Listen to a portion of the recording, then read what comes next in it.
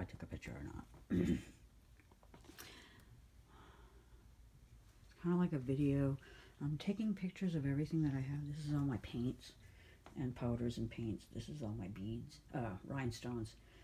Um, these are all my saved and washed tin cans for mixing epoxy um, and the lids for future art projects and all my silicones that I've bought.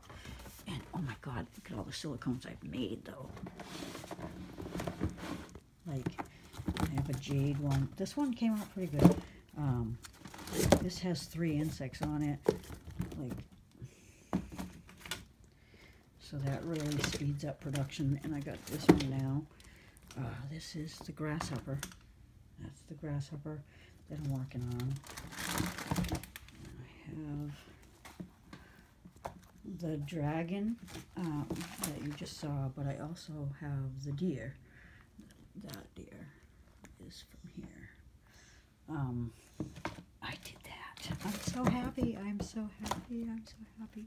This butterfly is perfect. This is the stuff you want to get. I'm buying some more so I can make a little commercial, a little ad about it, but this is the one you want right here. A lot less work with filing after the product is done compared to the runner-up only because of the cost is that much cheaper but with this one this the I'll show you later but I just have too many failures and it's I was inexperienced anyways so it's a good starter you have to start with something that is okay because I learned how to make dragons out of pieces even after they broke now, which I didn't know before, but um, it's a good starter one. Don't spend a lot of money on a white, clear, translucent um, silicone for making molds. I would, if you're pretty sure of yourself, which, see, I had to learn. Um, if you're pretty sure of yourself, go right to the blue, but this is, this is, to me, this is the quality I'm looking for in a silicone mold. Um, it does exactly what it's supposed to do. And you can fit your pieces. Just really aggravating to have to work around. Um, this one was okay too, but um, not as solid, I would say. Just not as, as solid. And it's not that it needed like thicker or more. It's just the, the lines around are cleaner and cleanest on the blue. The lines around every single detail. So it matters. Like this one came out pretty clear, but I lost the nib, which is like right here.